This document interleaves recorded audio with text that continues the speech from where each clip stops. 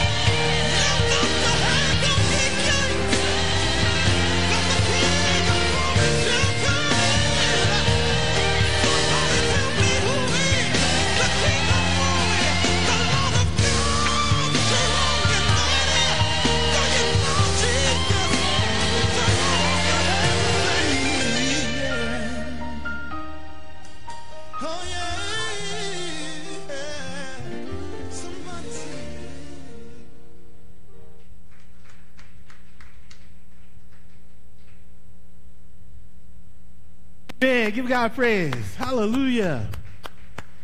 Isn't that awesome? You see the youth rising up, serving God. Uh, thank you to the praise dancers. You guys did a great job tonight. Amen. All the musicians, everybody helping out. Praise God. Well, tonight, we're going to go ahead and jump into the Old Testament tonight. Um, every week, every Sunday, we have a different service. We have a different. Okay, all right. I see my brother coming in. We have a different um, theme every uh, week. The first Sunday of the month, we do the Old Testament. The second Sunday of the month, we jump into the New Testament. The third Sunday, we jump into the book of Revelations. And the fourth Sunday, which is tonight, we usually have a, a guest pastor, a guest speaker. Um, our guest speaker is uh, Pastor Randy. Amen. But um, I thought you were out of town tonight, so I was going to go ahead and do the service. Oh, you flew right back? Amen. Amen. Check them out. Praise God.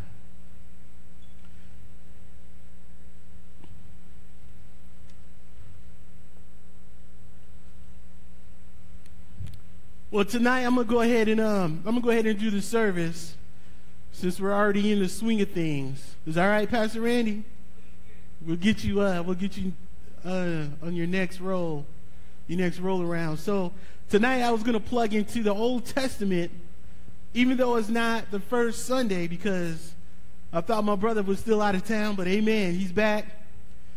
And um, tonight, the message is entitled, Who Do You Kick It With? Amen. Who do you kick it with?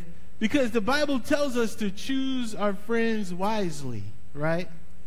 We are to choose our friends. We are to be wise. We are to put some thought to who we hang out, who we rub elbows with, who we allow to take up some of our time and, and efforts and things like that. And the, and the Bible tells us all through it to be careful who you associate yourself with. And tonight we are also in the story of Cain and Abel in the Bible, which is Genesis. We left off Genesis chapter 4, uh, verse 16 is where we actually left off last time we were together.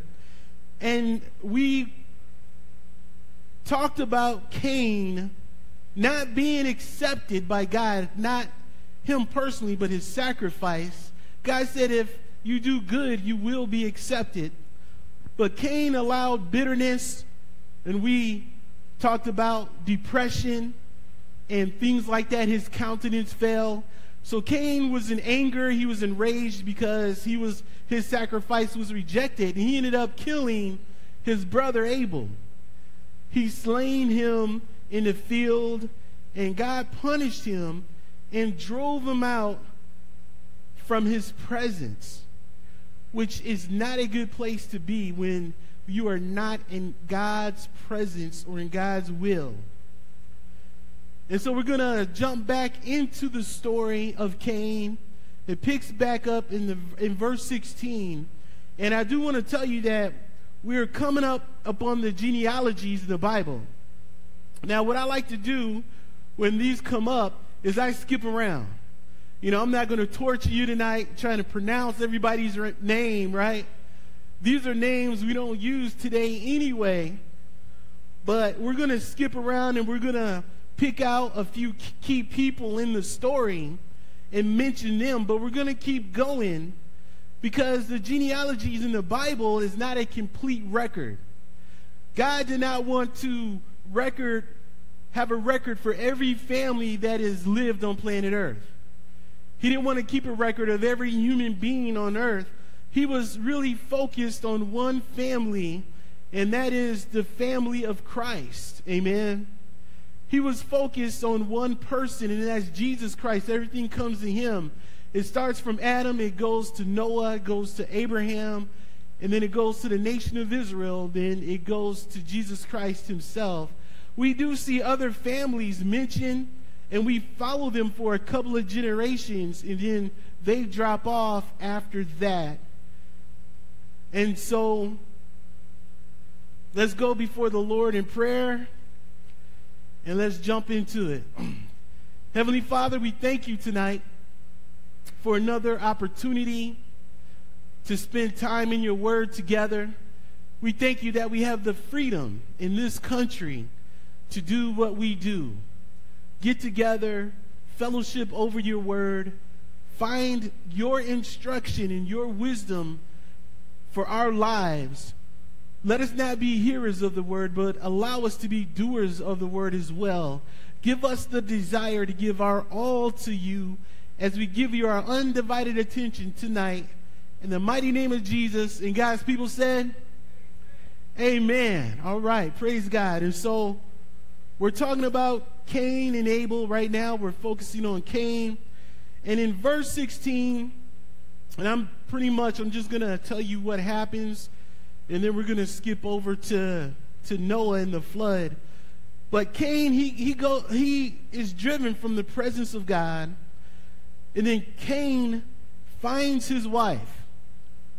Now, this is probably the most asked question about the Bible throughout all history. Amen. When I'm at work, this question has come up time and time again because I'm not ashamed to talk about my faith. I tell people that, you know, I'm a Christian hip hop artist and we do Christian concerts out here. And, um, you know, check us out. This is what we do. I believe in Jesus. And guys from other departments, they challenged me and they asked me, well, where did Cain get his wife? One guy even was so bold to tell me that Cain's wife was an alien from outer space. Have you heard that before? I've never heard of that. I'm like, these guys are on the deep end. I'm, I'm like, I couldn't. I, it, it took all my strength not to laugh in his face when he told me that. I'm like, okay, Cain's wife was an alien, right? And that's why his descendants were all crazy in the head. But no, that's not what happened. Back then, the gene pool was more was pure, right? It's not like it is now. The gene pool was more, it was cleaner. So Cain was able to marry his sister. As a matter of fact, back then, you know, they were all married. You know, Abraham even married his sister, right? The gene pool was more pure. You know, they were not, the, the, the children were not coming out deformed and different things like, like they do now. You know what I mean? You know, what do they say about the, the people down south? You know, they marry their cousins and all that. You know what I mean? So back then it was allowable. It was okay. So that's where, if you were wondering where Cain get, got his wife, it was his sister. Amen. I mean, where else? You know, they had everybody had the same parents. If you go back far enough, we're all related. We're all either to Adam or to uh, to Noah, right? Amen. I know, huh? That's a crazy thought, ain't it? but anyway, so Cain, um, he meets his wife, and he has a son named Enoch, and he builds a city. He names the city after his son. Now, keep in mind, Cain was driven from the presence of the Lord.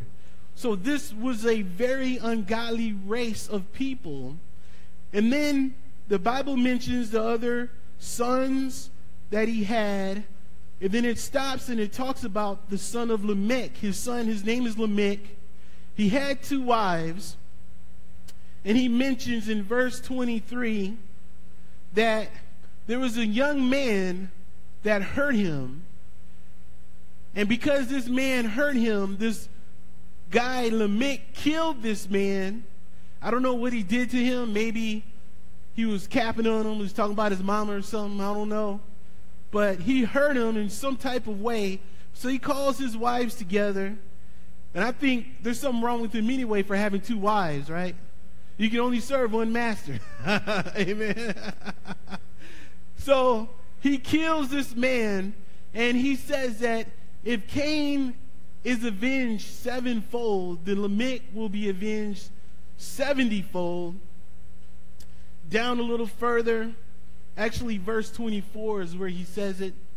And we can see that the sin of Cain, that is the exact same sin that Cain, his father, committed. He killed his brother, and now it's coming out in his family line. Lamech kills someone else, and they're quoting this curse that God had put on Cain himself.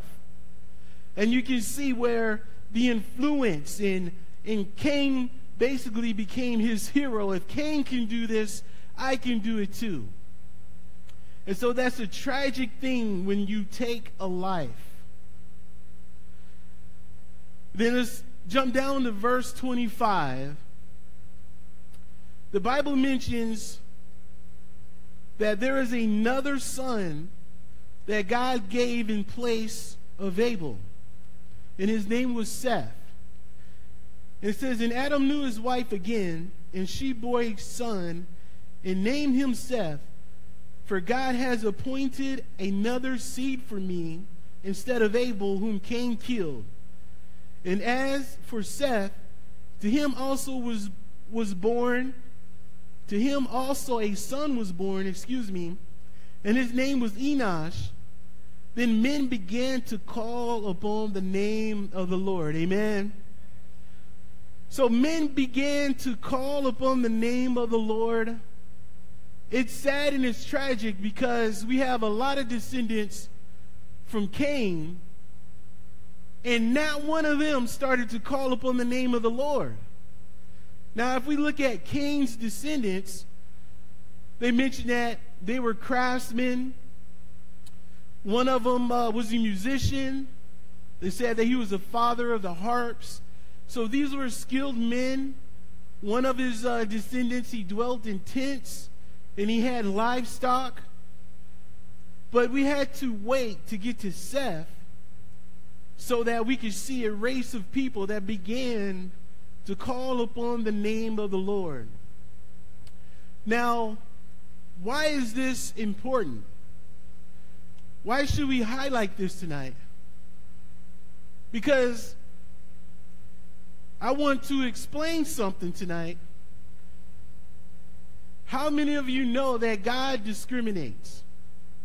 Have you ever thought about that before? Or should I say that God profiles people, right? We hear a lot of things in the news. We hear people complaining about the police and law enforcement and how they racially profile people and how people are pulled over because they're being profiled.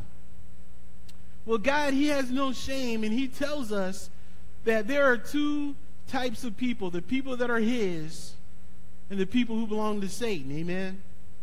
So there are two classes of people, if I could say that tonight, on planet Earth the people who are God's and the people who belong to the devil.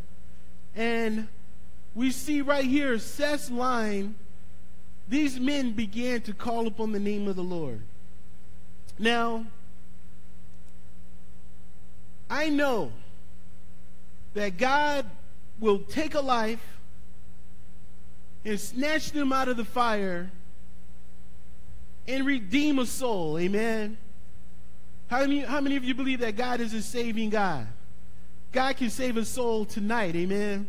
That's what he wants to do. Jesus Christ is our Savior. God wants to snatch us out of the life that we used to live, and he wants to give us a destiny.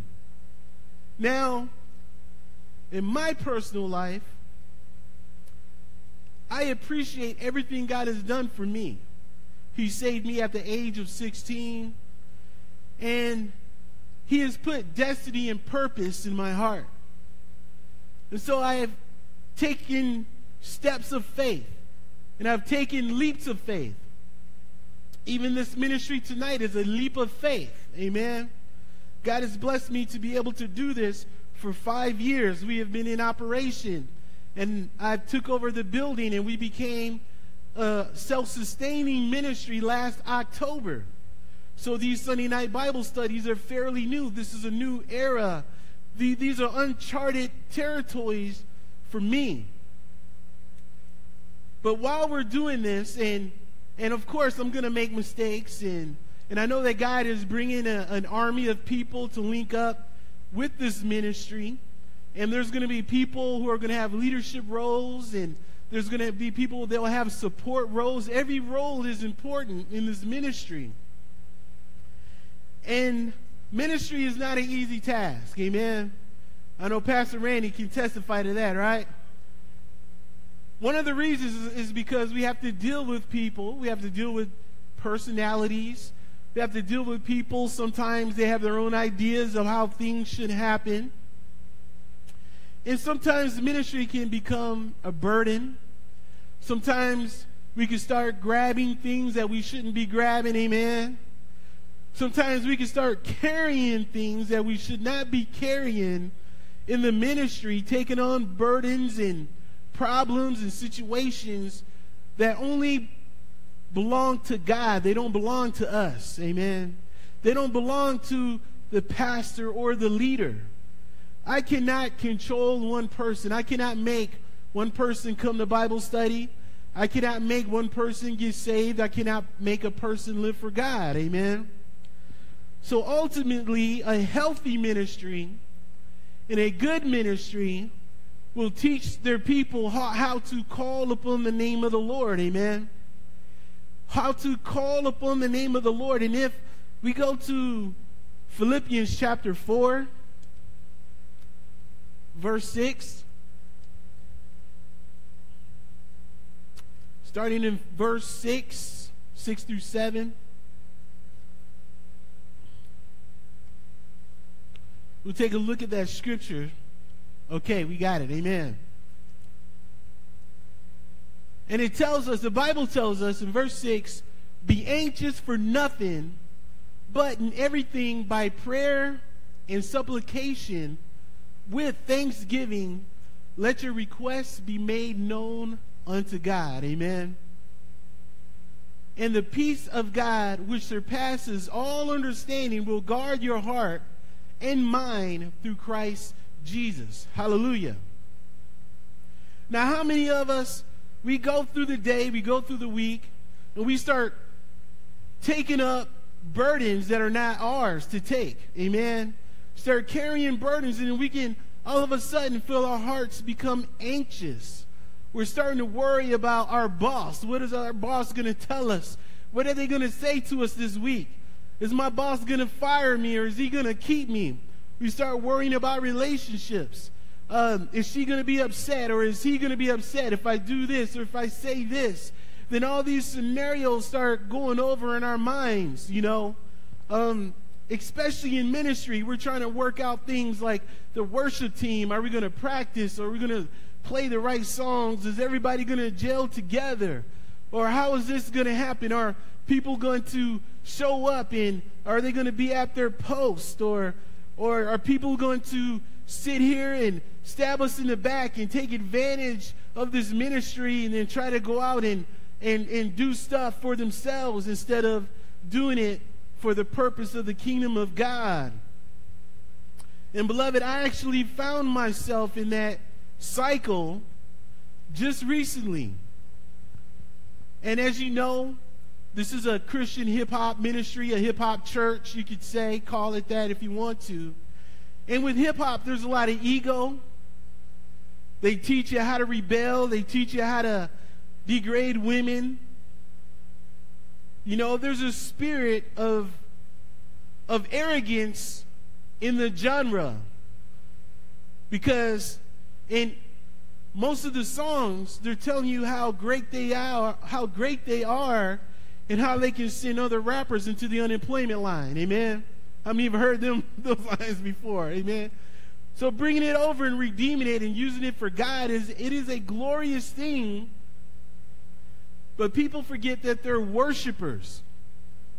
You're not an artist trying to get put on, trying to become famous or this or that. You're here to worship God and to reach as many people as you can because music is a powerful tool. Amen. But you know, it's not for me to worry about is this person really going to do this for the Lord? Amen. I mean, we can inspect their fruits and we could the Bible says test people before you put them in ministry, and we can do our due diligence, but ultimately, that burden belongs to the Lord. And God gave me that scripture. I was praying, and um, I'm like trying to get things right in my heart. And God told me, He says, Be anxious for nothing. What are you anxious about? This is my ministry, it's not yours. I'm like, Yeah, right. You're right, God. This is your ministry. This ain't mine. Why am I anxious? Why am I worried about what people are going to do and all this and that and the other? So I had to lay that burden down and gave it to the heart of God. And I have one more illustration on this point. We do have an app for this ministry. It's called His Hop Radio. And it's an app that you can download in your app store. Yeah, that's my commercial. Amen. Download that app. but there is a song, there is a, a beautiful song, and it almost brings me to tears every time I hear it. It's by this artist. His name is Jason. In this song, he is in a counseling session with his wife and with a counselor. I don't know if she's a pastor or what a professional counselor. But in this song, she's, she's definitely a Christian counselor because she's quoting scriptures and things like that. And so this artist, he's rapping about a time when his wife was molested by her own dad.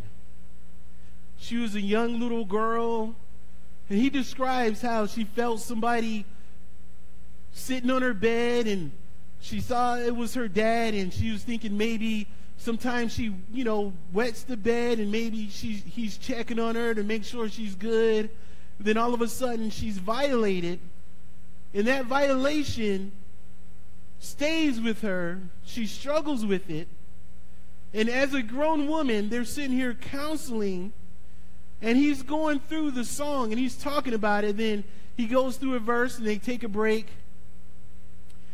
And then uh, the counselor turns to him and, and, and he says, Well, how do you feel? And how does this make you feel? And, and he talks about, you know, how he feels like he wish he could go back and he could have protected her. And he feels like less of a man because because he, he couldn't protect her during that time. And, and he's, you know, wish he could wipe her tears away.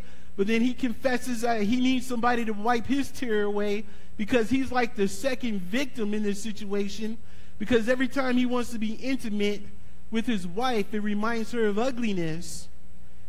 And they're trying to struggle. She loves him dearly, but she can't remember that, she can't forget that violation that she had. And so the song keeps going and going. And finally, he's like saying, Man, I wish I could get hurt this man. I wish I could do something to this dude, you know, and and you know what's going on? And and he wants to help his wife and help her to get over this and and and he's all this and that. And then finally he comes to the conclusion. He's like wait a minute. Who am i to think that i could be her savior? Only jesus can lift this burden off of her life. Only jesus can heal the hurt and the violation that has happened to her the best thing that he could do for her is intercede and pray that God will touch her and strengthen her. The most powerful thing that we could do for our brothers and sisters and for our ministries is call upon the name of the Lord. Amen. Stop carrying these burdens that don't belong to us. God says, if the Lord doesn't build the house, the laborers build in vain. Amen. So these men, they began to call upon the name of the Lord. Back to our text in Genesis. And Adam received a son in his own likeness, in his own image. This tells us that Adam was a godly man himself. And then in chapter 5, they, where they talk about the genealogies again how God created mankind, male and female. They, God created man in his image and in his own likeness. So God has given us a special place. And then we go down the line, the different descendants that, that were born to, to Seth. Now we're following Seth's descendants. Like I said, I'm not going to butcher all of their names, and I'm not going to put us all to sleep trying to pronounce their names. So we're going to jump all the way to verse 21 in chapter 5. And I want to look at Enoch. The Bible highlights Enoch. And the Bible tells us that Enoch lived 65 years and begot Methuselah. After he begot Methuselah, Enoch walked with God for 300 years and had sons and daughters. Isn't that awesome? Walking with God for 300 years. Wow. And the Bible says that God was so pleased with Enoch that God took him off the earth. So, quite possibly, Enoch is still in heaven right now. Amen. Now, if you're familiar with the book of Revelations, um, as I shared before in my testimony, the book of Revelations is near and dear to my heart. I know that book very well because that is the book that was taught, that brought me to salvation. I got saved, and that's the book that opened up the gospel to me. And the book of Revelations talks about two witnesses that are going to come during the tribulation. A lot of people say that it's either Moses and Elijah because they're going to be in Jerusalem prophesying, and the Antichrist, the beast, is going to try to kill them they're going to try to come against them, but these prophets, these witnesses, are going to call fire from heaven. Amen.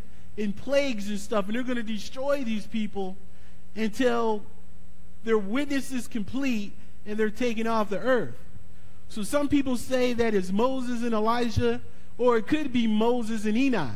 We don't know because Enoch never died. I believe Enoch is still in heaven today. And they're going to come to earth. They're going to, after they finish their witness, then God is going to allow them to be killed. And then they're going to be resurrected and they're going to go to heaven. And everybody's going to freak out. They're going to be looking at them. I'm not making this up.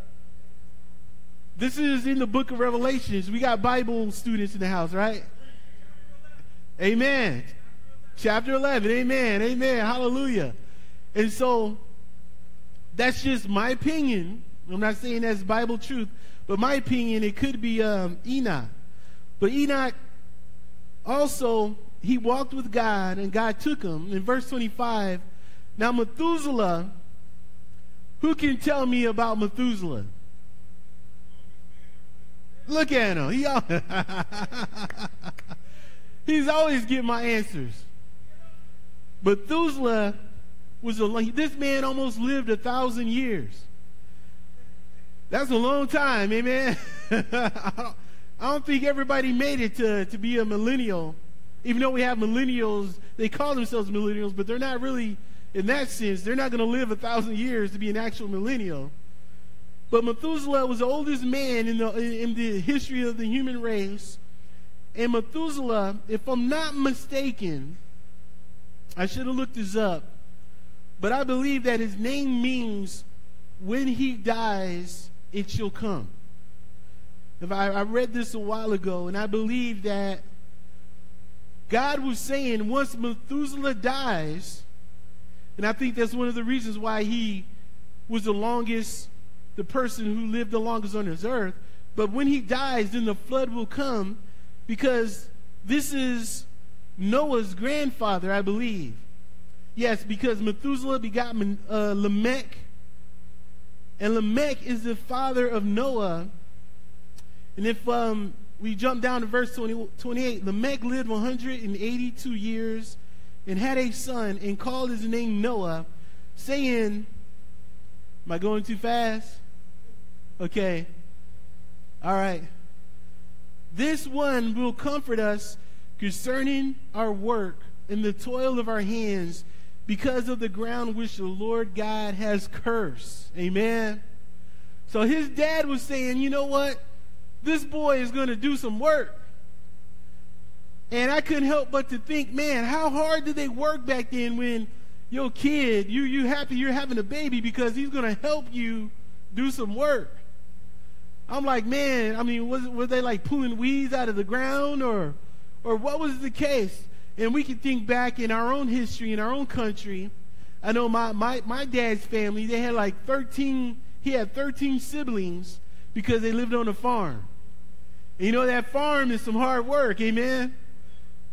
And I believe people back then had large families so that they could help out with the chores and, and working the farm Maybe some of us grew up on the farm. Not me, I'm a city slicker. God came to Vegas, and then this is where I was born, so I ain't never been on no farm doing no work. Amen. oh, they could. I'm sorry, you know, I don't think I could deal with, you know, the cows and the chickens and all that. I just wasn't built for that. So praise God for cities. Amen. But praise God for our farmers too, man. I love going to the grocery store. I love getting my eggs and my milk and all that. If it wasn't for them, we couldn't eat. So let's give our farmers a hand. Amen. Amen. Yes, we do love you. but Noah, man, his daddy was happy because they they had some hard work going on back then. But this was a godly line. And then if we jump down to verse 32, Noah was 500 years old, and Noah begot Shem, Ham, and Japheth. Now, the story is going to land on this family. We're going to slow it down a little bit, and we're going to dive into verse, actually, chapter 6. So, man, we're moving right along tonight, man. We hit a couple of chapters that quick, amen? First time that happened in our Sunday night study. So, chapter 6, we're going to look at the family of Noah. We're going to look at the condition of the day. Men begin to multiply on this earth. Men begin to be wicked and evil. And God had to deal with this this early in the story of the human race. So let's jump into it. Chapter 6, verse 1. Now it came to pass when men began to multiply on the face of the earth, and daughters were born to them, that the sons of God saw the daughters of men, that they were beautiful, and they took wives for themselves of all whom they chose. Now let's stop there for a second. Let's figure out who the sons of God are. Now, there's two interpretations of this scripture. I'll tell you what they are, and then I'll tell you what I believe, but you can make up your own mind. Amen. There's one interpretation, they say that the sons of God are the descendants of Seth, the godly line, and they begin to mingle with the descendants of Cain. Therefore, they polluted the, the godly line, and that's why God had to judge the earth. Me, I really don't think that's a correct interpretation. The other interpretation is saying that the sons of God are actually angelic beings. These are angels, or we can say that they're fallen angels, because once we read further in the story, they talk about these sons of God impregnating these women, and these women have giant babies, right? Men of renown. You know what I mean? This is Bible. See, I tell people the Bible's exciting. It's an exciting story. It's like an action film. You know what I mean? It's a very interesting book. And people say that these are not angelic beings because Jesus speaks about the angels, that the angels in heaven, they do not marry or given in marriage, right? But these are fallen angels. These are demonic angels. These are devils. These are demons who knows what they can do? You know what I'm saying? Who knows? You know, I mean, they're already perverted. They have fallen away from God, and these are perverted angelic beings that have fallen, and their descendants were judged. And so, and then also it says they took wives from whom they chose. So who knows? Maybe they took wives that were married to other men. You know what I mean? Maybe they violently took these women. Whatever happened, but these women were beautiful, and these sons of God took them. In verse 3, it says, And the Lord said, My spirit shall not strive with men forever, for he is indeed flesh. Yet his days shall be 120 years. Wow. That right there is a huge difference from almost living a thousand years. Amen. These men lived like 400. I mean, they were like 500 years old and they were just now starting their families. You know what I mean? And they live to be 900 years and 700 years old. And God shrinks their lifespan down to 120 years. Why is that? Because God says that his spirit will not strive with man forever. Now, I want to say this it's a blessing that God's Spirit would even strive with us in the first place. Amen. It is an honorable blessing, but God is not going to fool with people forever. There's going to be a time when God is going to stop. There's going to be a time when sin is going to be dealt with. Do you realize that sin has an expiration date? One day, that sin that you love so much, that you love more than God, that you love more than giving your all to God, serving and selling out for God and serving Him 100%, that sin that you choose to live for, you're not going to be able to enjoy it forever. The divine patience of God is going to run out one day. Now let's turn to 1 Corinthians chapter 5, verse 11. And I said at the beginning, the title of this message is Who Do You Kick It With? Because we have to be careful who our friends are. If you really cared about your friend, if you really love people, if you're loving people with the love of Christ, right? We say we're Christians. We say that we're sold out, we're soldiers for the for the cause of Christ. Then why are we hanging out with people who are clearly rebelling against God? Now, don't get me wrong. The Bible tells us that this whole world is in rebellion. So for us to stop hanging out with them, you know, we have to get a, a rocket ship to the moon, right? I don't want to be around nobody that's rebelling against God. That's not what the Bible is saying. The Bible is talking about people in the church house, amen? People who call themselves brothers and sisters. People say that they're going to go out and start a ministry. People who say they want to be a part of your ministry, they're saying that my life is in a place where I want to be used by God. But you clearly see them compromising in their walk with Christ. Knowing that one day it's going to be too late for that person. The patience of God will run out. And it says, But now, in verse 11, but now I have written to you not to keep company with anyone named a brother, right? They in the church house, who is sexually immoral or who is a covetous person, or an idolater, or a reveler, or a drunkard, or an extortioner, not to even eat with such a person. Can we uh, get that up in the amplified? I think there's an amplified button we can we can get up and we can look at it. But now I write to you not to associate with anyone who bears the name of Christian, right? Brother, if he is known to be guilty of immorality and greed, or is in what? Did we skip something? But now I write to you, or is in we're missing 10, right? Was that 11? It's 12. What, or was it, uh, what business of mine is it, and what right have I to judge outsiders? Is it not those inside? Okay, that's not the right. That's not the right. We're 1 Corinthians 5 11. Then 512.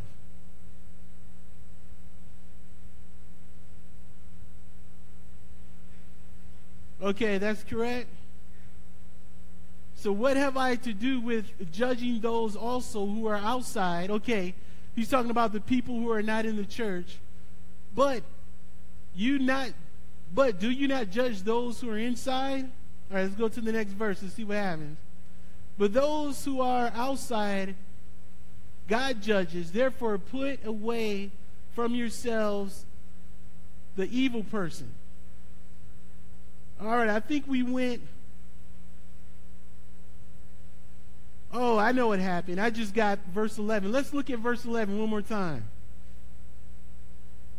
But now I have written to you not to keep company with anyone named a brother who is sexually immoral or covetous or an idolater so basically, what the Bible is trying to tell us tonight is that if you truly love this person,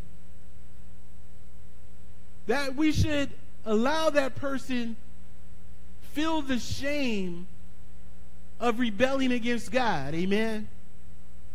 We shouldn't support a person who we know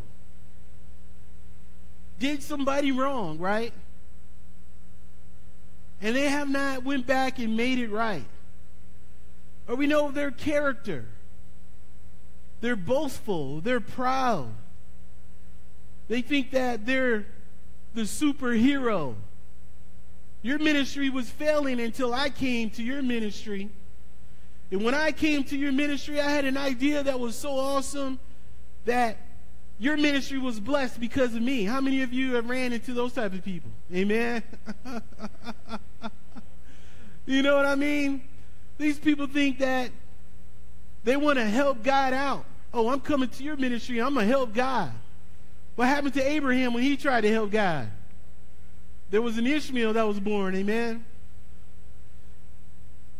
And so, it, but it, it blows my mind. I mean, I can understand somebody who may be struggling in their walk with God because I struggle. I'm not perfect. There's areas in my life where I struggle. I need people to speak into my life. You know, I had a conversation with a couple of people in the ministry, uh, just ministering to each other. They spoke some things to me that encouraged me, and I said, you know what? I need to make some adjustments in that area. That is a beautiful thing about fellowship. You know, there's no long ranger ministries, amen. There's no long ranger Christians. We should be supporting each other, strengthening each other. The Bible says iron sharpens iron. But the problem comes when this person is in all out rebellion and everybody wants to go and rally behind this person and support them in their rebellion, and then they want to turn around and look at you and make you seem like you're a bad guy because you're not supporting this dude. You're not all up in his face. Isn't he doing a great thing? Isn't he doing a wonderful thing for God? Look at what he's created. Look at what he's doing. Yeah, but I'm like, well, look at his character. Look at his arrogance. Look at how boastful he is. And as a minister, my heart is this. I'm trying to be faithful. Not saying I'm perfect or I'm better than anybody else. That's not the case. But I have a healthy fear of God. Amen. I want to make sure my walk is right. I want to make sure my heart is right. Because God looks at the intents of your heart as well as your actions and what you do for Him. And one day we're all going to be judged and we will be rewarded for our service. And so I try to keep my focus the best I can on God, but the people that God allows in my influence, the people who God sends to me, and, and, and, and the people who God has appointed me to teach and to lead and to be an example. I care about those people. My heart is to love these people, not to exploit them, not to use them for my own selfish gain, but to teach the people. Jesus said, If you love me, feed my sheep. Amen. Feed my flock. But there's also another good indication of a healthy ministry or a healthy minister is that he has a heart to protect his people. Amen. He wants to protect his sheep. The Bible speaks of wolves in sheep's clothing. The Bible speaks of men, deceivers, ungodly men waxing worse and worse in the last days. Amen. Why are we so naive when it comes to ministries? when these men are going to wax worse and worse, deceiving and deceiving more people? Where is our discernment? Why are we supporting wolves? Why are we out supporting people where clearly you don't see the hand of God on their lives? We see the movement of flesh. We see the movement of arrogance and boasting. And just recently, and I'm only going to say this because this person came out publicly and said this. So I'm going to publicly and say this to what he said. this person basically, he was a part of this ministry, and he said that he came up with a concept to help this ministry out because people were not coming. So, because people were not coming, I wanted to promote what was happening here. And I wanted to, to kind of do what I wanted to do to basically kind of save this ministry. And I'm like, okay, so you're saying that you're trying to, God needed you to help him fulfill what he spoke over this ministry and what he said he wanted to do in this community through this ministry. You see, when people are speaking about what God is doing in their ministries and what God is doing in their lives, I'm looking for who they give the credit to. Amen. I'm looking for statements like, wow, God opened the door for me to minister in this area. Or God led me to this particular brother and sister, and God allowed us to do this and to do that in the community. Or God did this in my life, and now God launched me out into this ministry, and that person is giving God the credit and giving God the glory. Amen. Not once did I hear a statement like that when I was listening. And so, of course, out of love, like I said, if we truly love our brothers and sisters, we should make them feel ashamed when they're in rebellion or sinning against God. The Bible tells us don't even associate with such people. Now, the last verse that I have is Romans chapter 1, starting in verse 24. You see, God has a divine wrath. Of course, God is a loving God. Amen. And I'm not preaching as if I want to preach a fire and brimstone type message. Paul was not ashamed. Paul would expose people. Paul said, Watch out for Alexander the coppersmith because he's done me a lot of harm. And he would warn the people so he could protect his people in his ministry. But tonight, what I want to do is I want to share a warning that is in the Word of God. And this warning is written here so that we could be protected from the wrath of God. God is loving, God is just, He is patient. But we just saw in the book of Genesis that His Spirit is not always going to strive with man. The worst thing that could happen to us, beloved, is God give, allowing us or God giving us over to our own passions and our own desires the things that we want to do, the things that we love so much. The Bible says that, tells us that we sin because we love it. And we know we love it. We know we do. But we have to learn to love God more than we love the desires in our own hearts.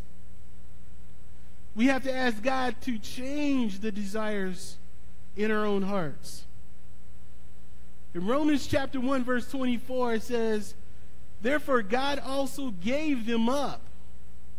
That is a tragic thing when God gives someone up.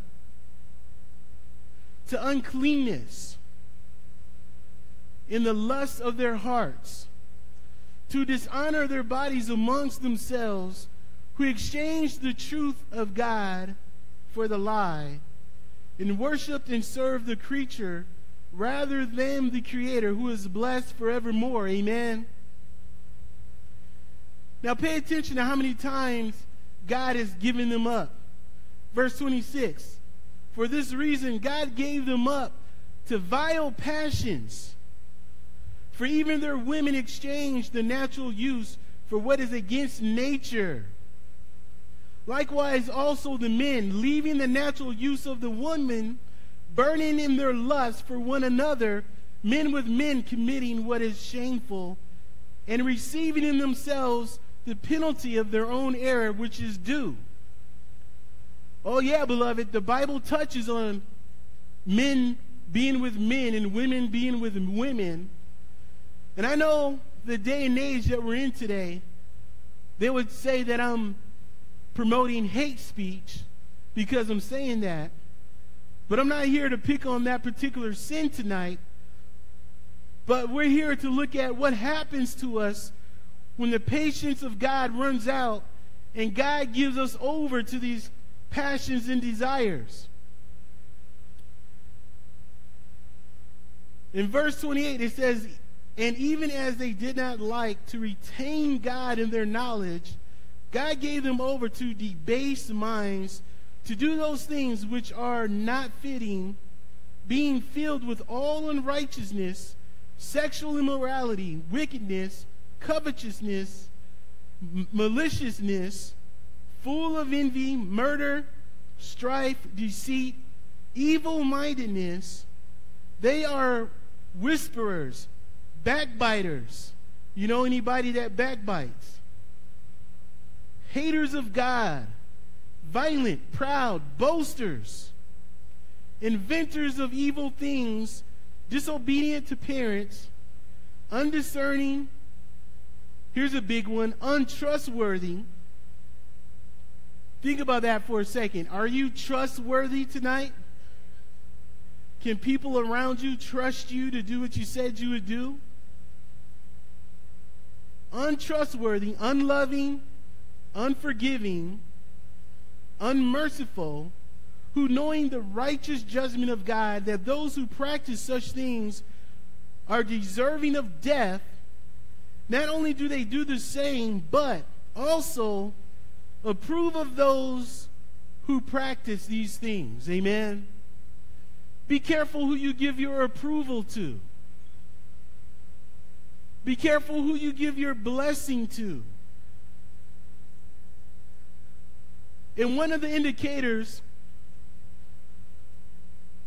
that this is a person that you should, should support or kick it with should be this. Once you spend time with this person, spend time involved in their ministry or whatever they got going, and this person is speaking into your life, and this person is sharing their life with you. Are you being uplifted? Are you being encouraged? Are they encouraging you to get closer to God? To walk closer to God? Are they encouraging you to live a righteous life? To do righteous acts? To treat people decently? To respect people? Are they encouraging you to do the right thing? Do you feel encouraged? Is there peace? Is there joy? Is there excitement for the things of God? Or does this person bring you down? Are they always anxious and are they speaking doubt and unbelief in your life? Are they backbiting or are they gossiping about other people? Are they boasting about what they can do and who they are? Are they promoting themselves? Are they promoting what they do? Or are they trying to overshadow the ministry of God? It's all about me. Instead of glorifying God and being a part of what God wants them to do. Are they jealous? Are they trying to compete with other ministries? Are they trying to outdo other people? Are they saying, you know what, I can do what they can do, but I can do it better? Are they paranoid? Do you walk away from them uplifted, encouraged in your walk with God, strengthened? The Bible says iron sharpens iron. Amen?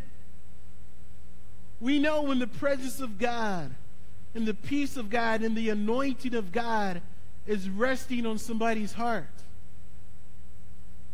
Now, of course, the Bible says, we just read it, and they're saying that these people are unmerciful and unforgiving and unloving. Yes, we need to be people who are merciful. We need to be people who are giving and loving, and we give people chance after chance. We don't have to jump on them. And I believe a true man of God, pastor or not, when he's wrong, he will admit to his people that he's wrong. He will admit to his congregation, you know what? I was wrong, and I should not have said that or should not have done that. And I've had to apologize quite a few times to my people. Because I'm going to make mistakes. Nobody is perfect but Jesus. Amen. We need to be a people who call upon the name of the Lord. And basically, to wrap it up, my message tonight is this. If we truly love our brothers and sisters, the Bible says, stop associating with them. If they're in rebellion, you should go to your brother and sister and confront them and encourage them to get it right. Of course, once we repent, everything is good. God doesn't hold it against us. God's people shouldn't hold it against us. You get right with God, you repent, you reconcile, bam. Everything is good. Let's keep going. But if this person refuses to repent and refuses to get their heart right, and you support them in that, and you give your approval to that person, that is probably one of the most hateful things that you can do. Because that person thinks that they're right. They think that they're okay. They think that they don't have to deal with issues in their life.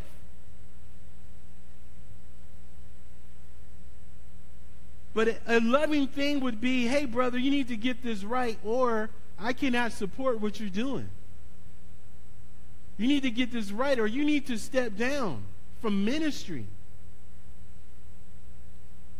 You need to get this right, or consequences should happen.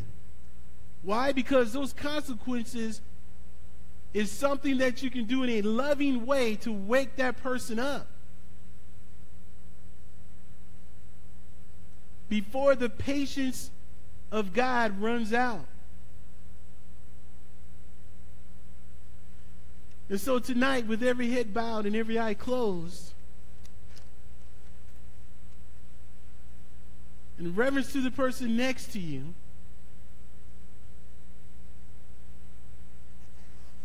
I just have one question tonight.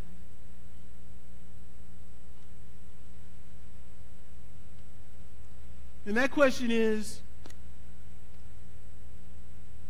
what do you need to do to get right? Before time runs, runs out on your clock? What's in your life tonight that you've been holding on to? God knows the intents of your heart. God knows your thoughts. But the message of the gospel is this God loves you.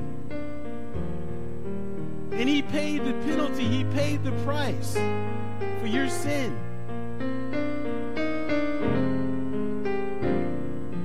But now you are responsible. We are responsible as the people of God. We are responsible to respond to that gift. The Bible says that we are all sinners damned on our way to hell outside of Christ. But now Jesus died on the cross. He paid the penalty. He shed his precious blood. The judgment of God that was on your head went to Christ. And now you don't have to be judged. God is totally satisfied with the sacrifice of his son. And so what he is offering you tonight, he wants you to wear the robe of righteousness, which is the robe of Christ, so that when he looks at you, your sins are covered. All he sees is Christ in your life.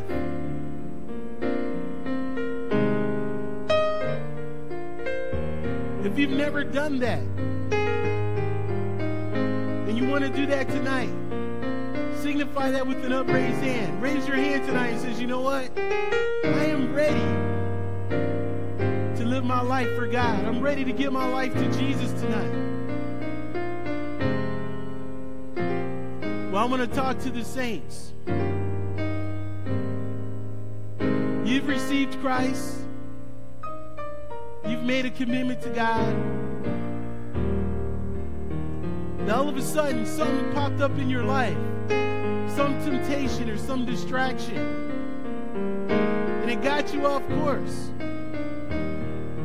And now you're stuck. You need to be delivered. You need Jesus Christ to pull you out of that.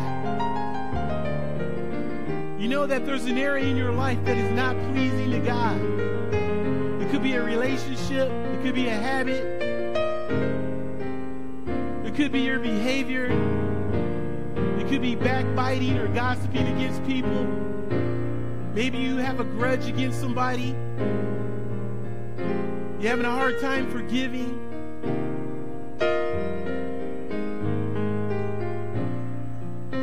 But you're ready to get that right tonight. You're ready to give that over to God. Do kingdom business tonight. If that is you tonight, signify that with an upraised hand. Says, you know what? I was on fire for God. I was serving the Lord, but I got distracted. I went off course. Don't worry about who's here. This is between you and God.